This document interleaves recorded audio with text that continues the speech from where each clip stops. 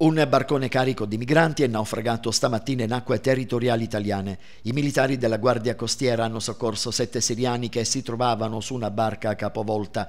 I superstiti raccontano però di essere partiti in 28 dalla Libia lo scorso primo settembre e che dopo un giorno di navigazione si è verificato l'incidente. I superstiti hanno perso i cellulari, disperse, stando ai racconti dei sette siriani, almeno 21 persone, fra cui tre bambini. I profughi sono stati sbarcati destinati a Molo Favarolo di Lampedusa e già trasferiti all'hotspot di Contrada Imbriacola. La barca, con a bordo 28 persone, si è capovolta dopo circa un giorno di navigazione quindi ancora in acque territoriali libiche.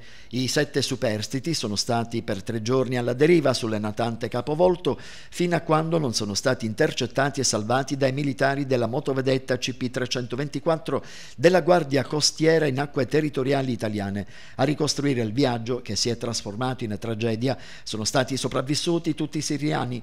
I sette, che vengono ascoltati dai poliziotti della squadra mobile di Agrigento presenti all'hotspot di Lampedusa, hanno riferito di essere partiti da Sabrat in Libia alle 16 di domenica.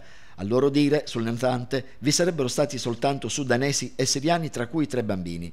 C'è stato un calo significativo di arrivi di migranti ed è evidente che le politiche del governo stanno funzionando, ma è necessario che l'Europa si occupi di quel che si parla da tanto tempo, ossia i canali umanitari per far viaggiare e arrivare in sicurezza queste persone, altrimenti si continueranno ad avere morti nel Mediterraneo. Lo ha detto il sindaco di Lampedusa e Linosa, Filippo Mannino, dopo il naufragio verificatosi in acque territoriali libiche.